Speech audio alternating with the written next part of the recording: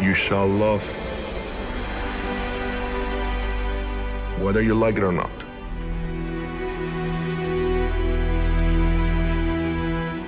Emotions, they come and go like clouds. Love is not only a feeling, you shall love. To love is to run the risk of failure, the risk of betrayal.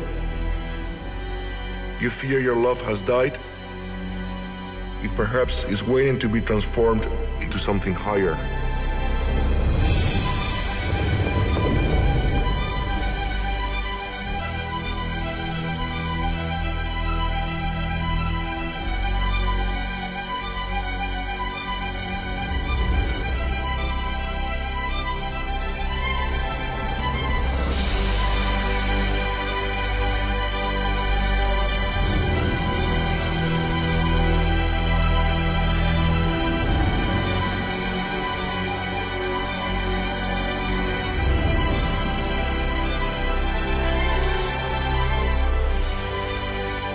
Awaken the divine presence which sleeps in each man, each woman.